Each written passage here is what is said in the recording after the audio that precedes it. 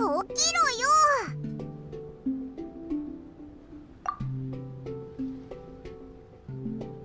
よかった。やっと目が覚めたか。なあいい知らせと悪い知らせがあるけどどっちを先に聞きたい？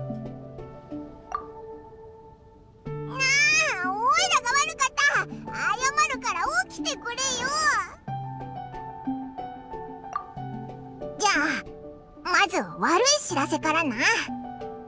実はこの島で何か事件が起こったみたいなんだ。でいい知らせは昨日の心配していたこととはほとんど関係ないようで今は別の問題に直面しているんだ。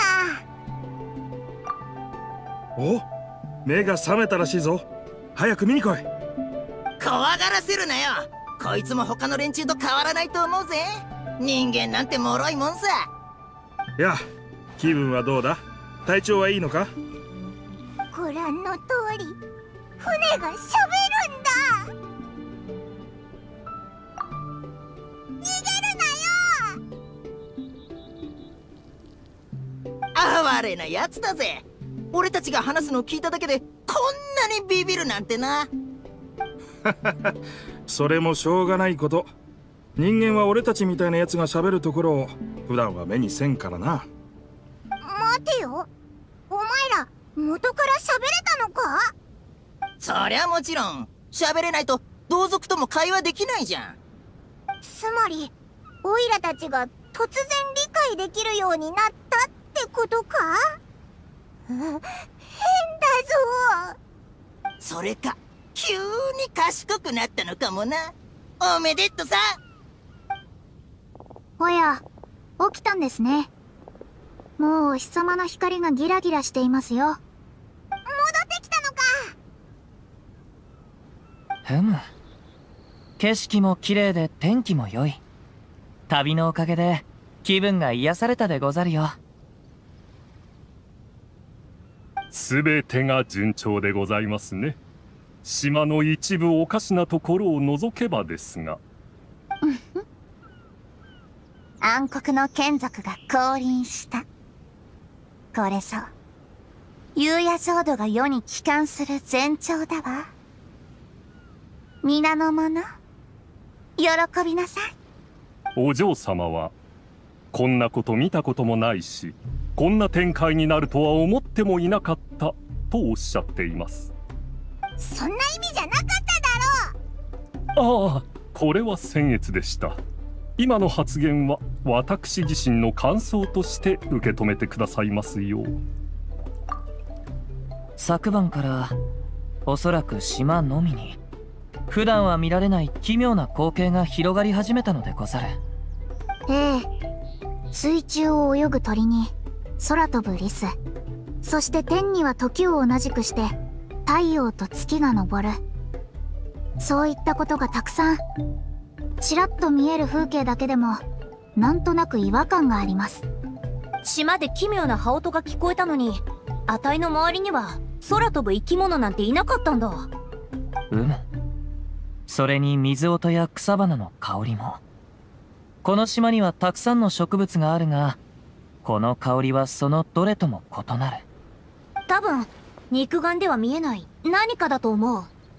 占ってみましたが水裏の番は混沌としていてとても解読できません。なんだか嫌な予感がするぞ。まさかオイラたち面倒ごとに巻き込まれたりしてないよな。この地に夕夜浄土を呼ぶと決意したのにこんなに奇妙な光景が広がるなんて。まさか罪深き者が私を阻んでいるのもしかしてこの島を改造した奴らの仕業じゃないのか？でもこんなことする動機がないよな。見てよ兄貴。死ぬほど怖がってるみてえだぞ。そりゃそうだろう。誰でも奇妙な出来事にあったら驚くさ。俺はいろんな海域を経験してきたベテランだたくさんの船乗りに声をかけてみたが誰も反応してくれなかった。こんな環境じゃなかったら人間が俺たちと言葉を交わすなんて想像もできないよな。こんな環境ってどんな環境だ？環境？もしかして環境の変化が私の占い結果を左右した？うーんそんなこと言われても夢が現実になるわけないだろ船とリスの言葉が急にわかるのもありえどうしたんだあれ？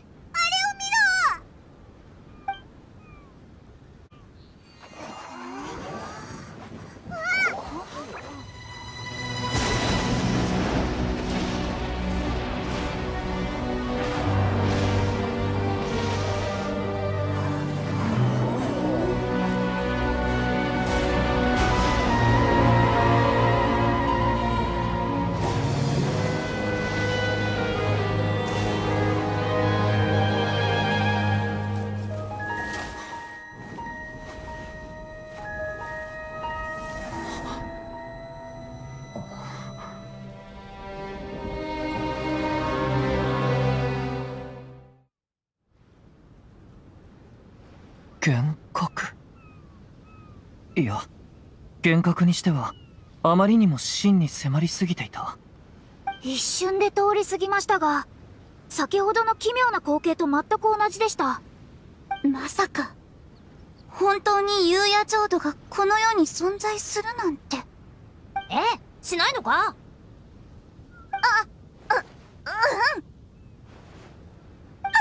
ふん。ざれ言よ。夕夜浄土は私の予言通り降臨した。諸君これこそが新たな目視録だわ。その通りです。皆様奇跡を目の当たりにし想像の瞬間に敬意を表する時が来ましたぞ。万歳。夕夜浄土へようこそ。あいつなんだか本当に嬉しそうだな。水を差さないでおこうぜ。全く驚かないとは。さすがは冒険者。いろんなものを見てきたんですね。これが幻覚でないのなら行って調査すべきでござる。一つ方法を思いついたぜ。ちょっと刺激を与えてみて痛かったら目が覚めるはずだろ。うむ一理あるかもしれぬそうだろ？さあカズハあたいの顔面に一発かませ。え？そんなわけにはいかぬ。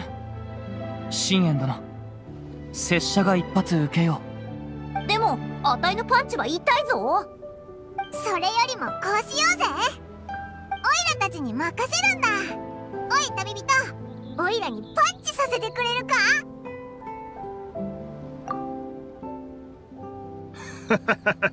お前たちは面白いな。幻覚だと？人間にとっては俺たちの声が聞こえるというだけで幻覚なのか？兄貴も知ってるはずだろ？人間は大人になるといろんなことを忘れいろんな能力を失うらしいぜ。そうかそれはもったいないな。今日のようなことで笑うなどと艦隊で働いていた頃は想像もできなかった。おいみんな気になるところに行ってみたいとは思わないか？もちろんだぞ。でもどうしたらいけるんだ？ほら見ろ。何をですか？もちろん俺を。おっと自己紹介を忘れていたな。俺はこの海域で最も賢く最も器用な船だ。名前は好きに呼んでいいぞないのか？名前などもう忘れてしまった。覚えているのは稲妻から来たということだけさ。そうか。じゃあお前のことお肉丸って呼んでもいいか？稲妻の名前はなんとか丸が多いからな。お肉丸？構わんぞ。俺に出会えたお前たちは運がいい。俺はどんな嵐でも乗り越えられるしどんな波も俺の相手じゃない。だから乗りな行きたいところに連れて行ってやる。やれやれ。兄貴はいいやつだな。俺たちをここに放り込んだ風神とはまるで大違いだぜ。モンドの風神のことさ知らなかったのか？この島々の中には昔モンドの山頂だったやつがある。当時風神は地形を整えるために山頂を切り落としてそいつを丸ごと海に投げ捨てたんだ。俺のヒーヒーヒー。もう何代前かわからねえじいちゃんは山頂と一緒にここまで投げられたのさ。あの風神め。そんなことがあったなんて。それ以来俺たち一族は代々ここに住んでる。幸い他にもいくつかリスの巣が投げられてきてたから俺たちはここで王国を築いたんだ。メリットは天敵がいないから島のナッツが全部俺たちのものになること。デメリットは他のどこにも行けないこと。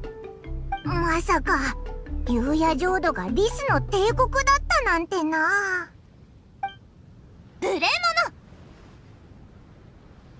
ハイモン殿でたらめをおっしゃってはいけませんよ竜也浄土は夜ガラスの国。これは常識でございます。おいそこの稲妻のあんちゃん。俺たち同郷同士だろ？稲妻の男なら海に出る勇気がないといかん。ついてくるか？海に出るというのは故郷を遠く離れ遥かな土地に向かうことでござるか？そうだ。ありったけの勇気とちょっとした決心が必要だ。二度と帰れなくなるかもしれないが旅立たねば世界はいつまでも己の心の中だけだ。ふむ。お憎まれ。お主の言うことはとても正しい。それを聞いてついていかねば男が廃るでござる。皆も来るか？拙者は先ほどの異常現象が起きた島に行くつもりであるが彼からは船の匂いがする。古き木材。水を遮る漆。まさに稲妻の匂いだ。それゆえ拙者は彼のことを信じる。ほうみんなはどう思いますか？オズ私のためにはしごを設置して。断罪の工場出港よ。一緒に行ってみんなで見識を広めようぜ。面白い。じゃ早速出発だ。くれぐれも気をつけて。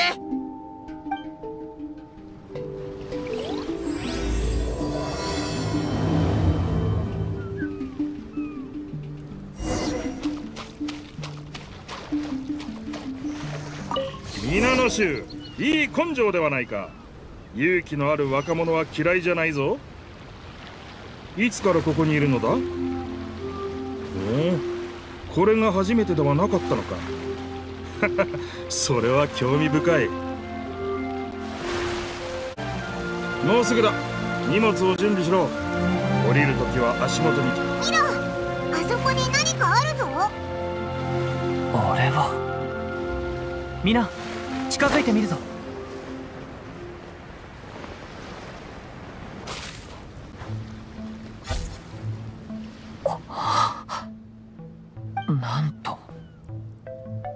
この地で相まみえようと。はこれって盆栽だよな。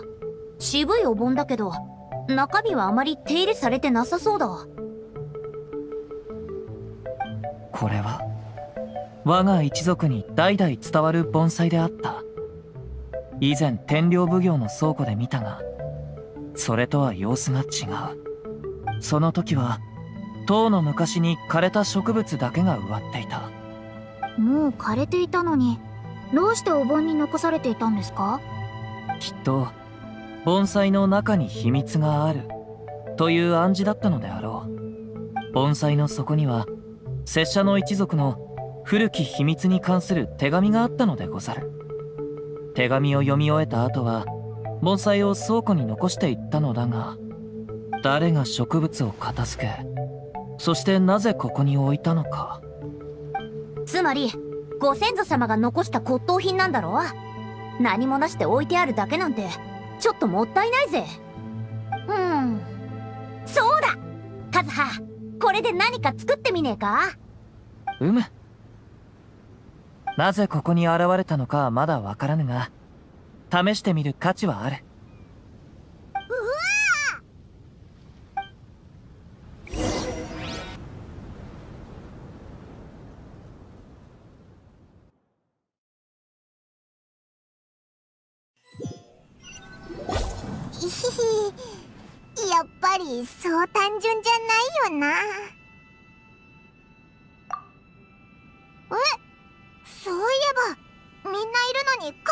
がいないのか？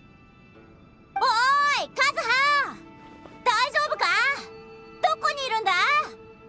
返事がないみたいだな。歩きながら探してみようぜ。この配置まるで豪邸のような感じですね。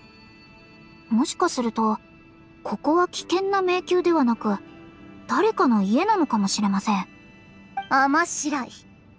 ここの秘密皇女の名において解き明かしてみせるわ。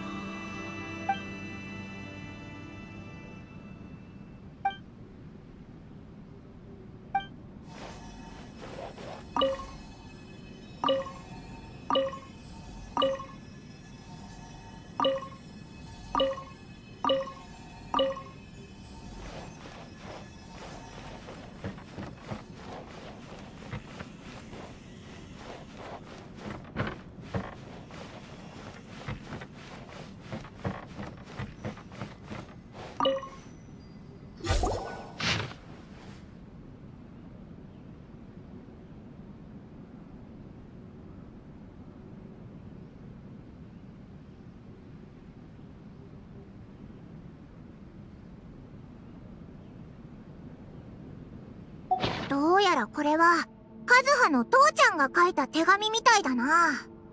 あいつの一族は代々盆栽を育てる習慣があったんだ。うーんそれにしてもカズハの父ちゃんのノートが見られるなんてレアだよな。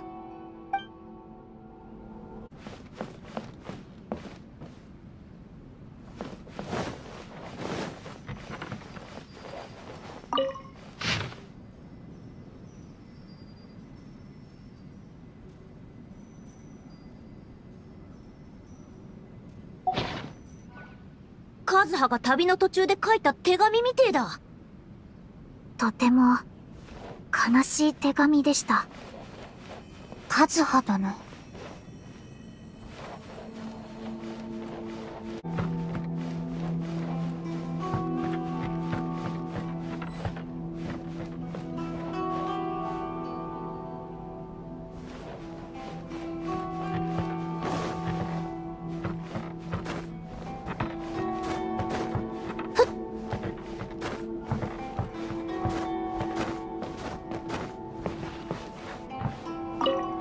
世に身を置きながら山水に思いを馳せる。我が楓原家はこうして代々受け継がれてきた。この家もいずれそなたに託すのだ。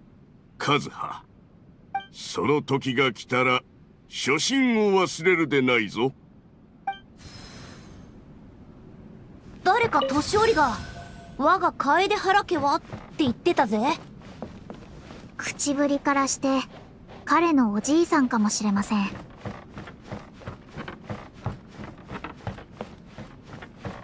和葉よく聞きなさい。楓原家の刀は人を傷つけるために作られたのではない。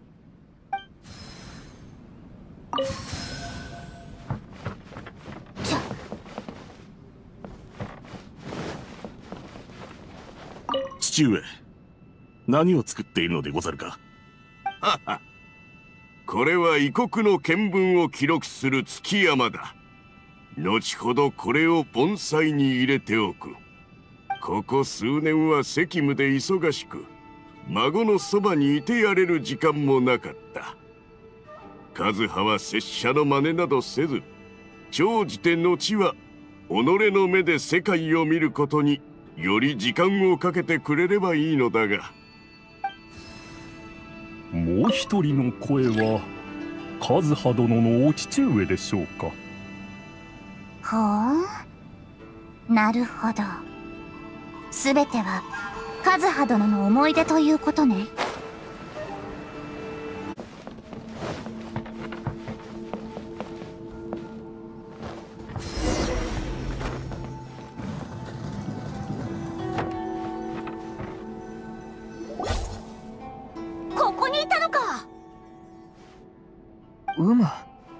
皆こそ今までいずこに？ここは迷宮なんだ。オイラたち全員この迷宮に閉じ込められてたんだけどカズハだけいなかったんだぜ。拙者はずっとこの部屋にいたが出ることができなかったのでござる。それにここは子供の頃住んでいた屋敷の寝室によく似ている。ここはお前の家だろ？なのになんでお前が閉じ込められるんだ？もしかして迷宮はお前を中に入れたくないのか？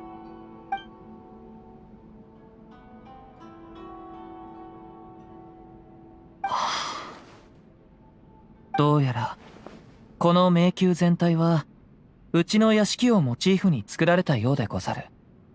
迷宮の声もすべて父や祖父が拙者に話してくれた言葉。拙者を中に入れたくない。ふむ確かに探索に参加できないのは拙者のみであるな。この不思議な建物は元凶のはずだと思いますよ。今の和葉さんの話からするとこれは和葉さんの経験をもとに作られたものです。なぜ和葉殿だけが拒絶されたの？おそらくこの状況は拙者自身によるものかもしれぬ。拙者にとって過去などもう過ぎたこと。天地万物にはそれぞれの法則がある。人は過去の道を歩むことはできないのでござる。このような考えを持つゆえに元凶は拙者を入れてくれないのであろう。なんとなくわかるぜ。前向きな考えだな。考えは相応の結果に結びつく。とにかく拙者は気にしておらぬから心配せずともよい。ふむ。先ほどは盆栽に触れたことでこの空間に入った。そうであったな。ならばもう一度触れてみれば。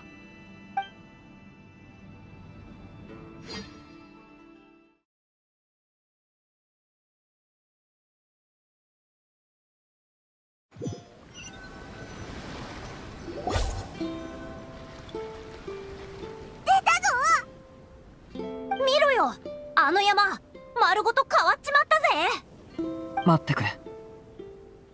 あ皆一つ考えがあるのだがこの元凶の変化は盆栽と関連があるのではないだろうか。この時期のお盆はもともと曽祖父の収集品だったと父から聞いたことがある。曽祖父は盆栽や盆景が好きでよく庭で手入れをしていたと聞いた。その後例の一件が起き祖父は一家を再興する方法を探して故郷を後にしたのだ。ちょうどあの頃曽祖父は大病を患った。曽祖父は祖父が盆栽に興味がないことを知っていた。曽祖父は最後の時丁寧に手入れした盆栽のほとんどを他人に譲りこの盆栽だけを残したのでござる。それって秘密の書かれたあの手紙を残すためだよな。さよう。それに一種の記念でもあったのだろう。祖父が駆けつけた時には曽祖父はすでに亡き人となっていた。最後を見届けることすらできなかったのでござる。それから祖父はよく盆景の前で呆然と立ちすくんでいることが多くなった。それをきっかけに祖父も盆景を作るようになったのでござる。しかし曽祖父とは違い祖父が好んだのはお盆に草木ではなく石を配置する盆景であった。祖父の影響を受けてか父もその趣味を受け継いだ。当時屋敷の庭にはいろいろな盆景が置かれていたでござる。この時期のお盆も家宝として拙者に受け継がれたもの。それがここに現れさらに元凶の入り口となった。偶然とは思えぬまるで拙者に心残りを埋める機会を与えてくれているようでござる。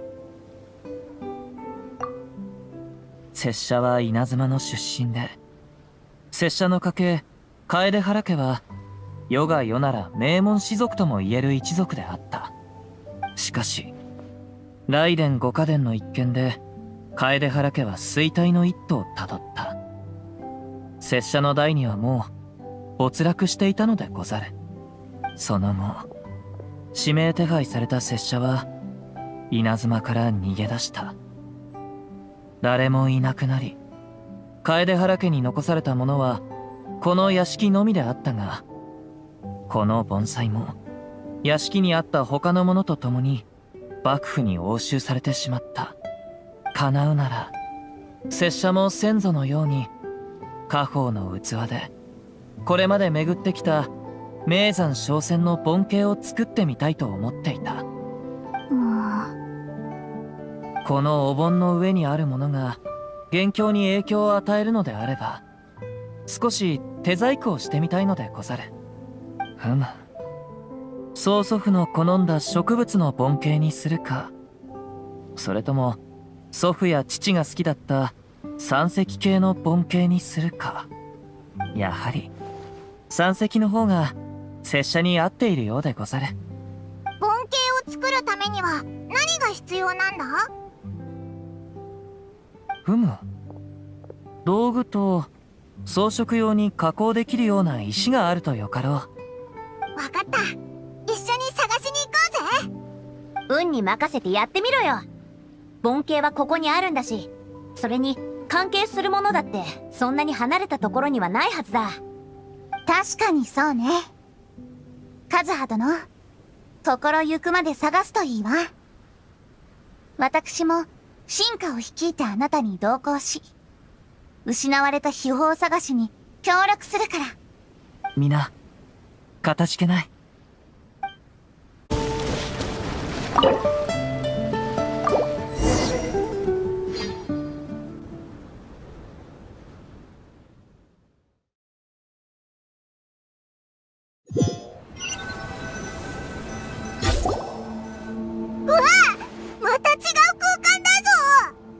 前回と同じく和葉殿だけがいませんな。よしここはあたいたちに任せとけ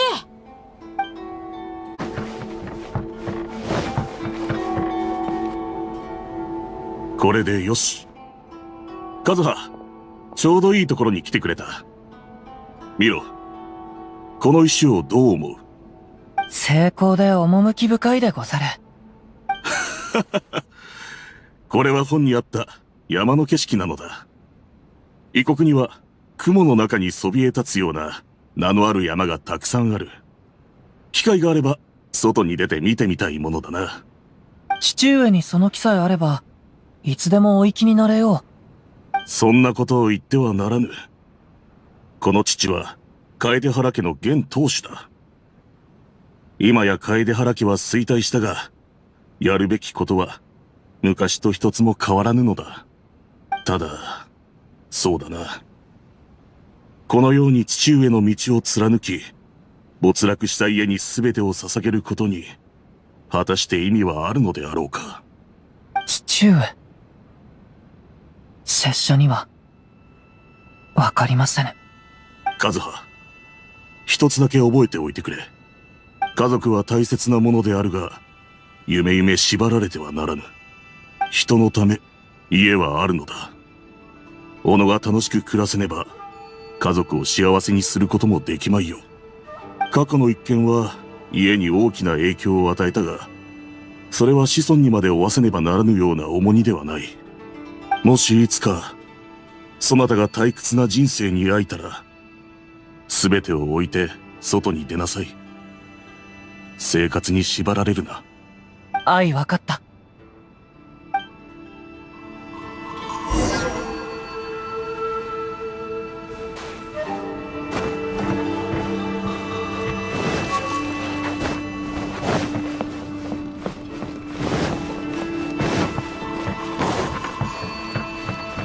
ご公明は金がね今日は楓原殿にお会いするために参った。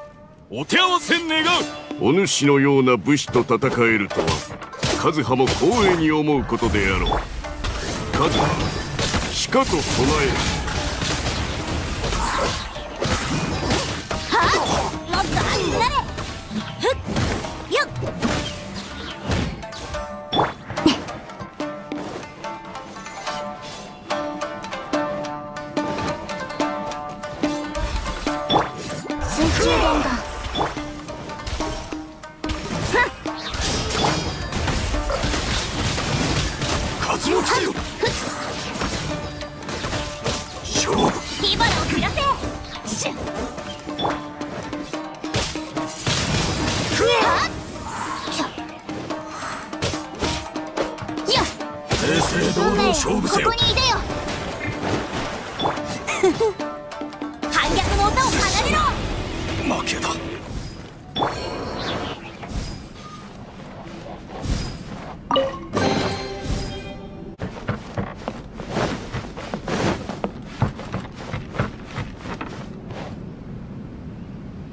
者には消せぬカズハ約束を忘れたのか？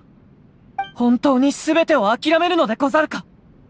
確かに今は大変な時ではあるが、父上には拙者がいるであろう。拙者は何の役にも立たぬのか？確かに父上ならば、拙者の年には、すでにおじい様のお力になっておられただろう。拙者が無能なあまり、父上を失望させたのでござるか？それとも、カズハそなたにそのようなことで己を責めさせるとは、父として失格だ。楓原家は、過去の過ちのために、あまりにも多くの代償を支払った。そしてついに、そなたのひいおじい様の代から今に至るまで、この限りを抜け出せなかった。刀鍛冶は、我が一族の責務であるが、家業だけがお主の全てではないのだ。それは忘れてくれるな。怪我をした獣が罠から抜けようとすれば、挟まれた後ろ足を切り捨てる苦痛に耐えねばならぬ。もしそれを損と思うならば、罠を離れずともよいが、おそらくそれは、より致命的な結果を招くであろう。もう良いのだ、カズハ。当主でありながら一族を復興できず、そなたに名門士族の若君としての暮らしを与えてやれなかった。なのに、そなたは拙者を責めぬ。父はもう、それだけで十分なのだ。何世代にもわたった苦痛は、今日で終わりにしよう。これからは、重荷を下ろして生きてゆくのだ。家業を捨てる悪名は、この父が背負えばよい。父上。やめてくれ。当主としての能力がないなどという悪名を、父上が背負うべきではござらぬ。それに、もしその日が本当に来たら、拙者も矢面に立つ。しばし待たれよ。楓原家は、いずれ拙者が継ぐのでござろう。その時になれば、拙者が片付ければよい。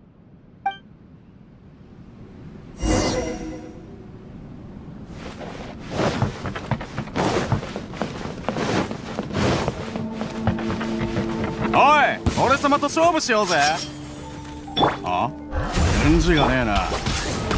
まさかビビってんのか？お主らごとき楓原家の相手取る資格はないやはりダメだったお嬢様の仰せのままに。運命のリズムに乗れるかい？ここまで。はあ。やはりダメだった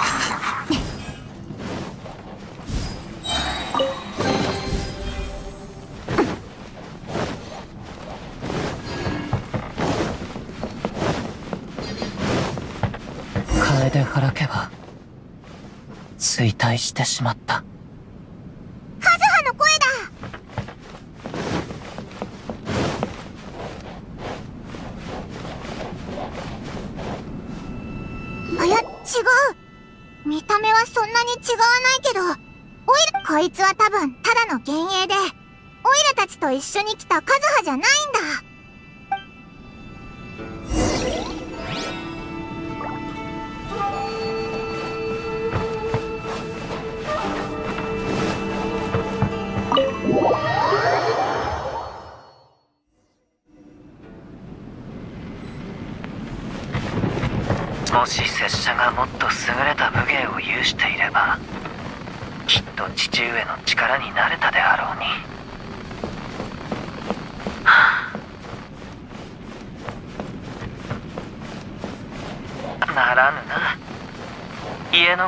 のことで頭がいっぱいでまたうっかりやってしまった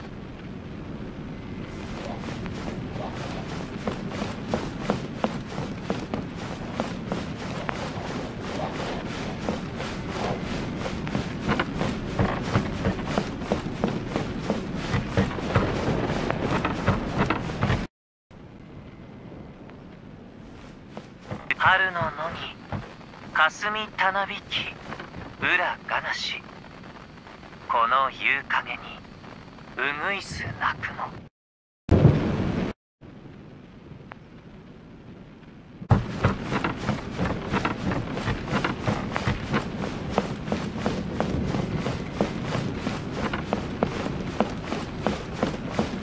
できぬと知りながらなそうとされているがそれでも行き詰まっておられたことはない。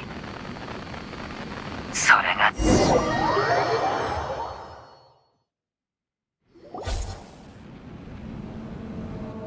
やっぱりまたここに閉じ込められてたんだな。これも法則によるものかもしれぬな。オイラたちまた元凶の迷宮に入ってしまってたんだでも今回はなんだか前回とちょっと違ったような気がするけど。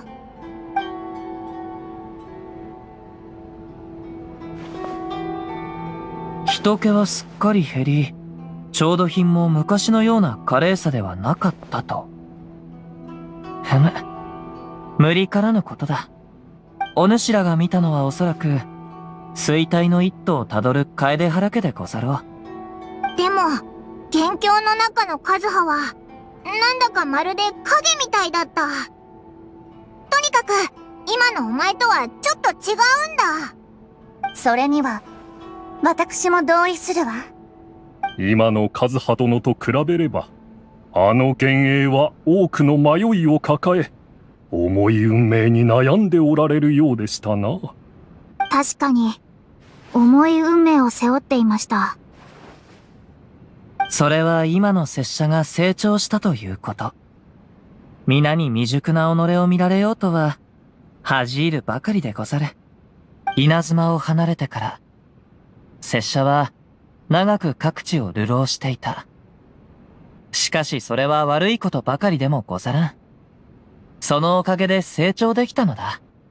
昔の自分に会えればよかったのであるが、今の拙者を見れば、あの頃の拙者にも、きっとわかった。人生の道のりは長い。それゆえ、拙者は旅に出るのでござる。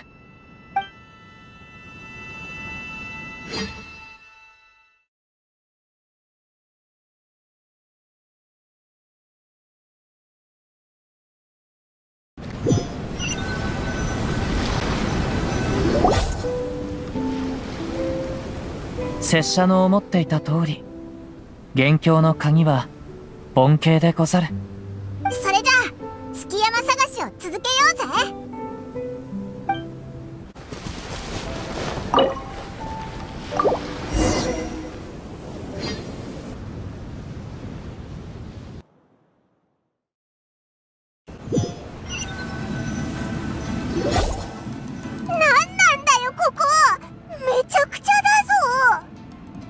没落した貴族の家は、こうなってしまうのね。あちこち壊れている上、誰もいません。すでに家は終焉を迎えたのでしょう。行こうぜ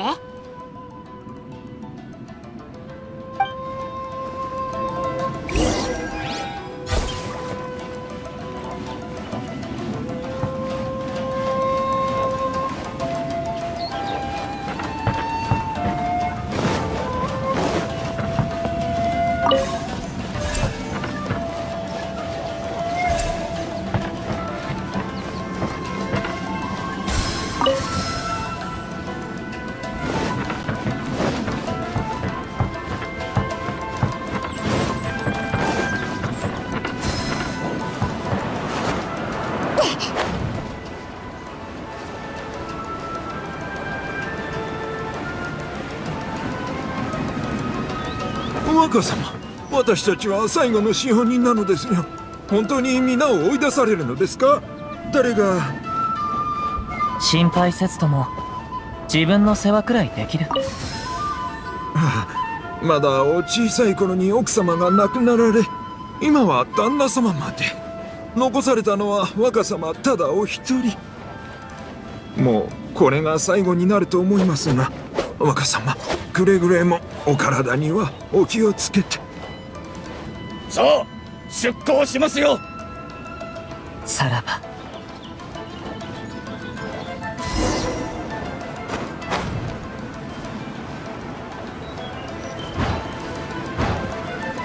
楓原家はついに拙者の代で解体してしまった。だが父上の言う通り生活に縛られてはならぬ。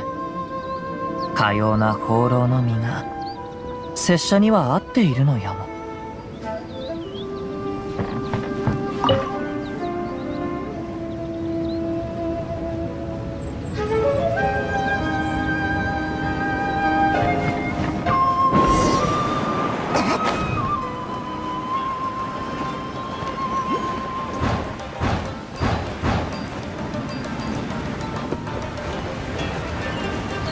神の神の視線から来ているそうだ。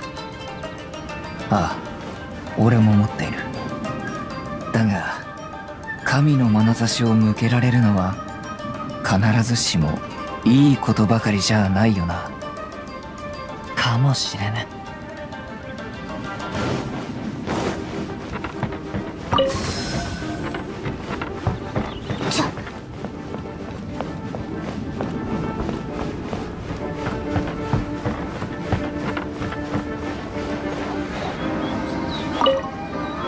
家を離れてからというもの。稲妻の様々な場所を訪れ見識を広めてきた。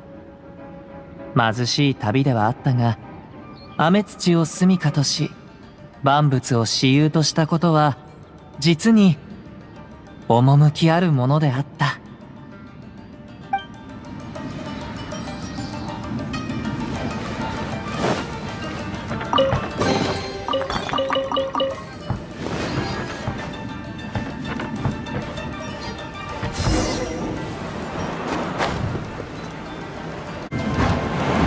メガリレーである。神の目を持つ者はおとなしく渡せ。おいこっちだ。急げ。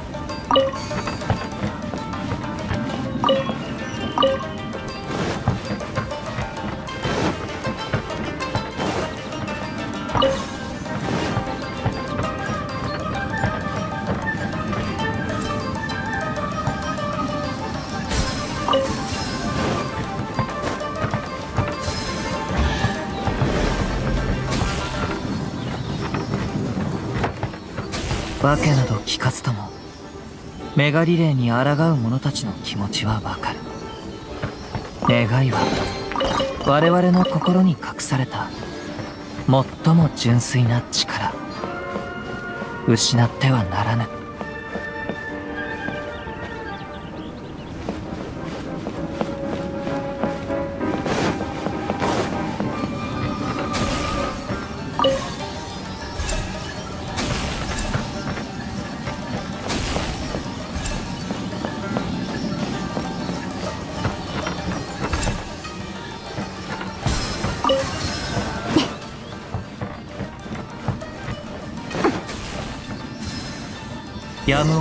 時が来ればここを立つでござる。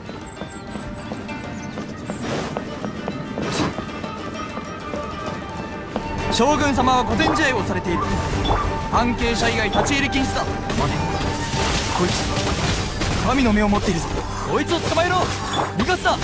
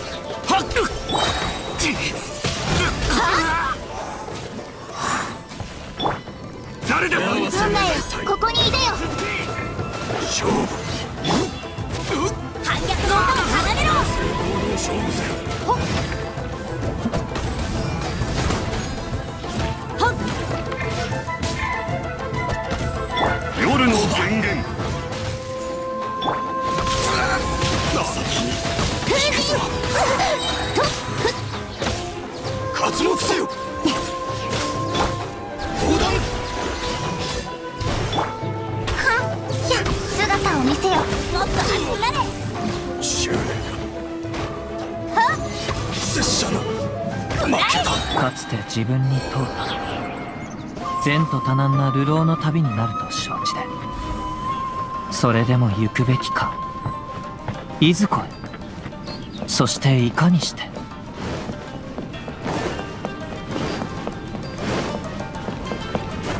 命を捨てに来た。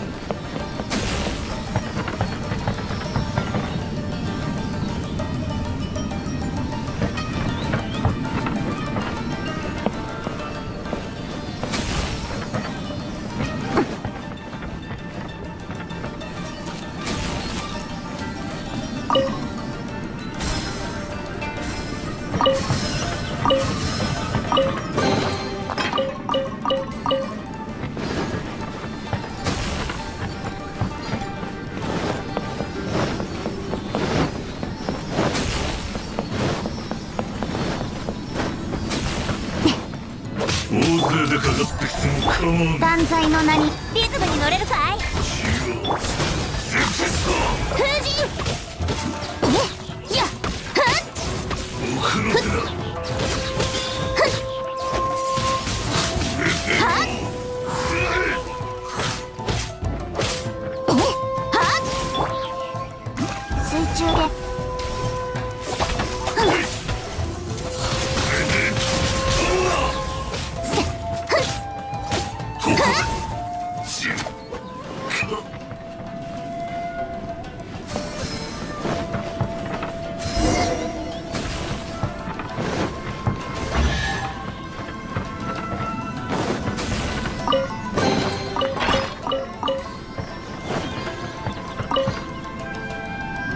前が楓原か。早く船に乗り込め。送ってやるよ。お主。どうして拙者を助ける？拙者はお尋ね者でござるぞ。そらもちろんしゃぶぎ お前を稲妻から無事に送り出すようにって金を出した人がいるからさ。ただ周りがしてやれることには限りがあるからあとは自分で頑張ってもらわないとな祖父は生前リーユエを観光し父は本でモンドの景色を読んだ。拙者はどこへ行くべきであろう。空が陰った。降りそうでござるな。おい止まれ。抵抗すると痛い目に遭うぞ。この雨が止む時は来るのであろうか。そうか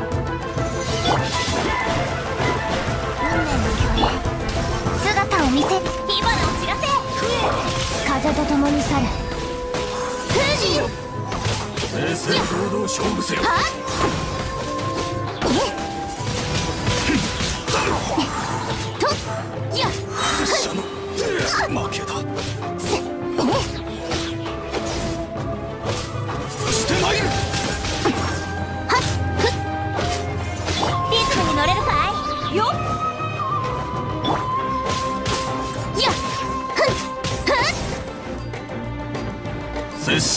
れてるのか。か体力足りなかっ。たか仕掛けを続け運命よここにいでよ反逆の歌を離れろ。やっ消えるんだ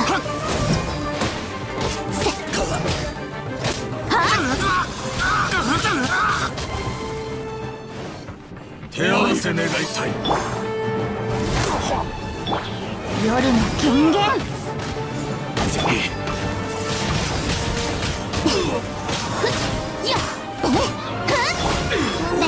水面に映るのです。水中言語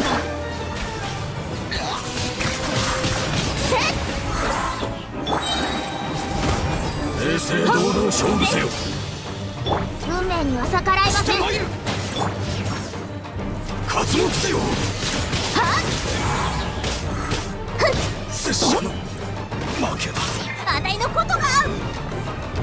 拙者を最初の音を聞けおいあんた大丈夫か？こっちに避難するか？海賊か？はそう海賊さ。来るかどうかは自分で決めろ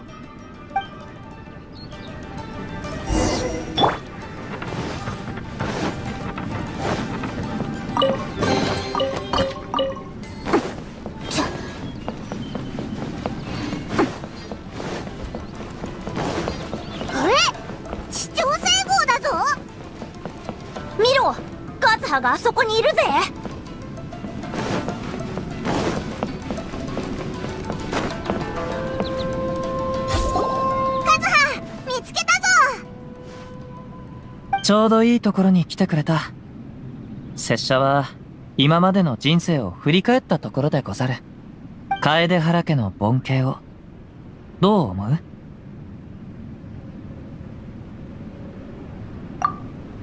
年月を重ねた者には心残りがつきもの。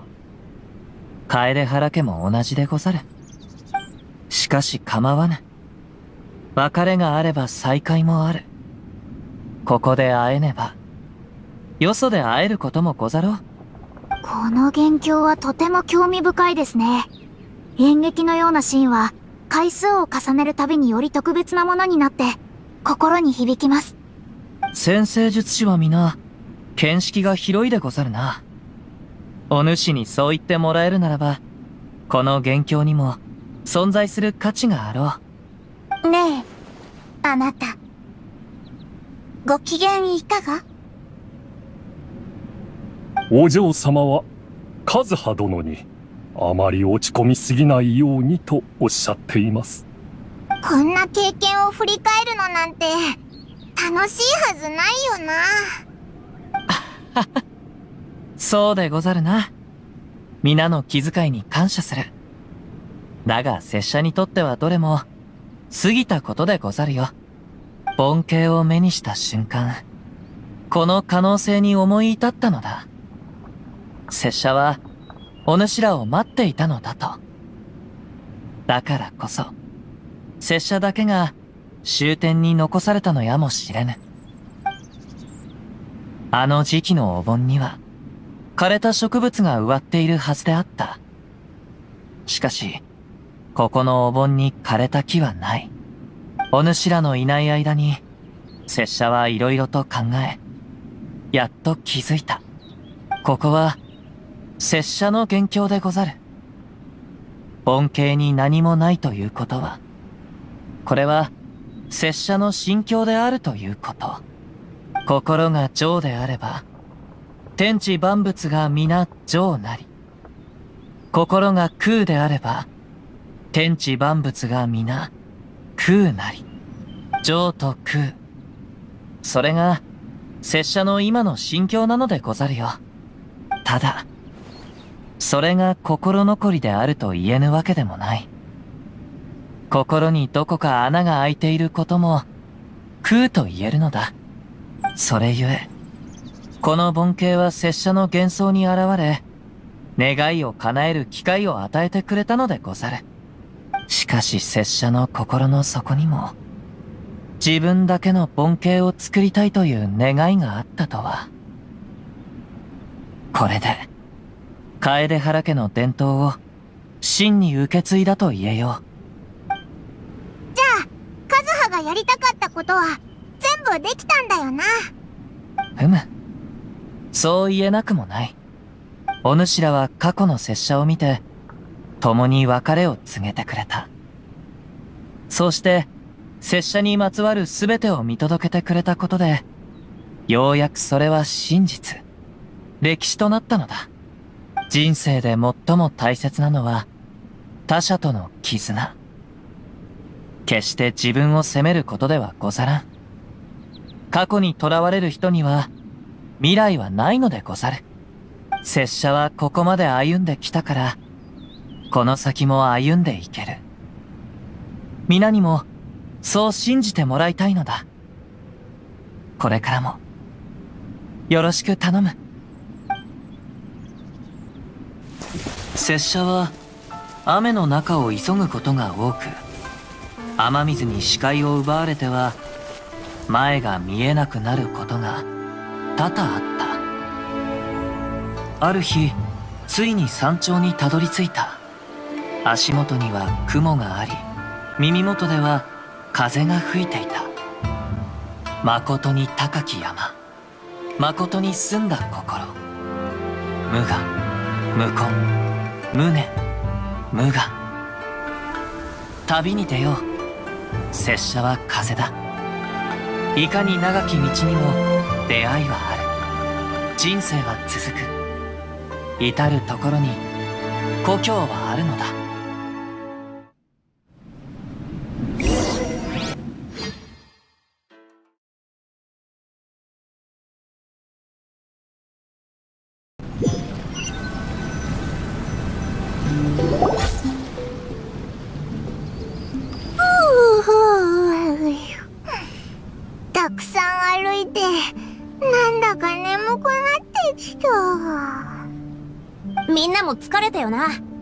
は早く寝た方がいいぞ。おどうしました？顔色が悪いですが。何でもないわ。少し疲れを感じただけ。今日の旅に疲れ果ててしまったのでしょう。うーん。お嬢様大丈夫ですか？オズ、余計なことを言わないで。失礼いたしました。ん？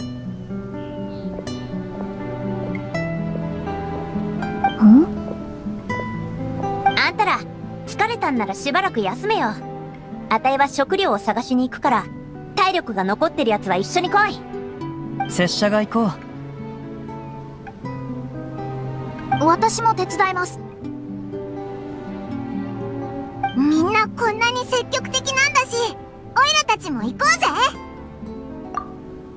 そんなに大人数はいらないぜそれに工場殿下が少し落ち込んでるみてえだモナあんたは彼女のことをよく知ってるだろ散歩に付き合ってやったらどうだ？気づいていましたか。食べ物の準備をしながら、その話をしようと思っていたんです。だったら、私に任せてください。よしそれじゃあ食べ物の準備はあたいたちに任せろ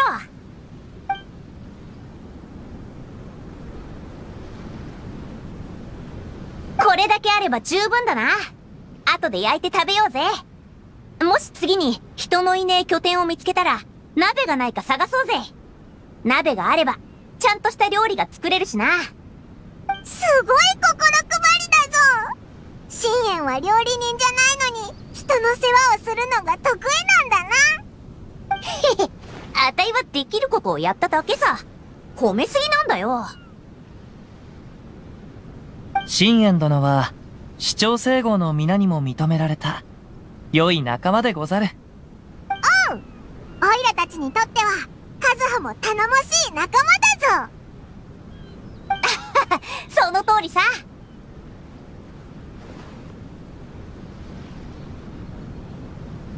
ふむ。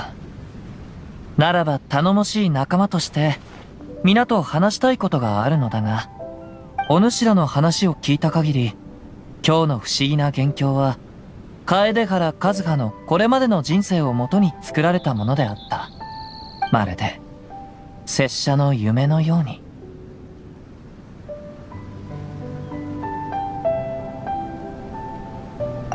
カズハあんたはずっと自分だけの盆景を作りたかったんだろう？むそして拙者の願いは叶ったか。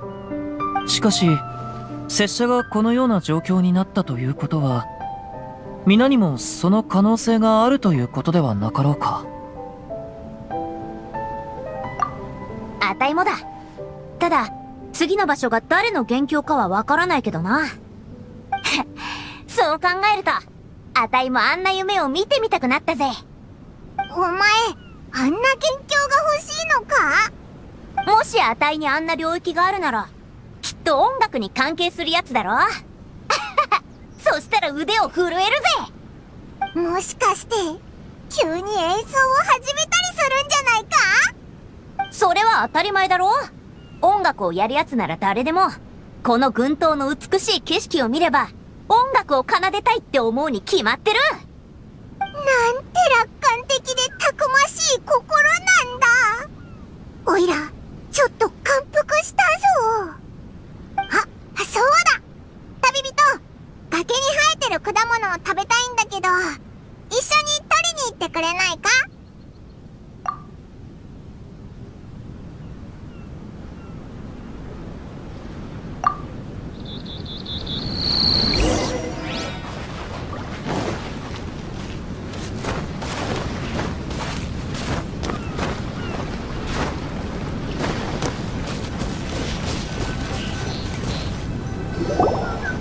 今の変わった建物と元凶のえっ、ー、と盆景？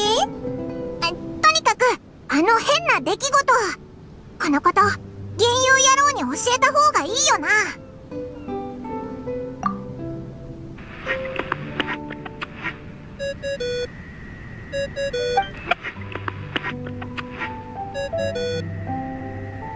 返事がない。おかしいな。なんで返事してくれないんだ？銀融野郎のやつまたぼーっとしちゃってるのか？それとも演奏してる間は爆弾を持ち歩いてないのか？あもしかすると酔っ払って木の下で居眠りしてたりして。うーんおかしいぞ。でも仕方ない。また明日連絡してみようぜ。旅人それにパイもここにいましたか？モナだ。フィッシュルとの話は終わったか？まあ一応は。彼女はちょっと憂鬱なんです。多分今日見た元凶のせいかもしれません。フィッシュルは今回の旅に積極的です。でも自分の元凶を見たくないんじゃないかなと思いますよ。なんで？あいつこういうことに憧れてるんじゃないのか？まだ結論は出せませんがとにかく気にかけておきます。私が言いたかったのは別のことです。先ほど海辺でもう一度ここを占ってみました。水裏の番は今回も濁っていましたが前回と違って何らかの力を感じられました位置までは分かりませんがだんだん変化してきているような感じがします。見えないのにどうやって感じるんだよ。素人にどう説明すれば。あ例えば部屋のどこかに隙間が空いていたとしましょう。位置はわかりませんが風がそこから入ってくるんです。すると部屋の温度もどんどん下がっていくでしょおおそう言われるとなんとなくがするぞ。その亀裂がどこにあるのか探したいんだな。そうですね。これからの方針を決めるにはまずその亀裂を見つけないといけません。あなたと一緒にいるといつもこんな状況になりますね。占い謎を解き目標を特定して問題を解決する。あなたは数多くの友人と秘密そして運命に囲まれています。本当に不思議な人ですね。そういえばレイナルトの件もモナとフィッシュルと一緒に解決したんだったな。まあそれはそうですが今回も手を組んで早く問題を解決できるといいですね。手を組むってお前たち二人でか？それともオイラたち三人で？はいはい。パイモンを仲間外れにはしませんよ。あなたは時々独特で鋭い角度から問題を見てくれるので頼もしいです。本当か？お前のことなんだか好きになってきたぞ。天才モナそうでしょ？私のように頭が切れて魅力にあふれる先生術師はこの世に二人と存在しませんから 何でもいいけどそのフィッシュルみたいに笑わないでくれるか？ご本すみません。長く一緒にいすぎて友人に影響されてしまいました。とにかく引き続き星を観測してみます。旅人これからもよろしくお願いしますよ。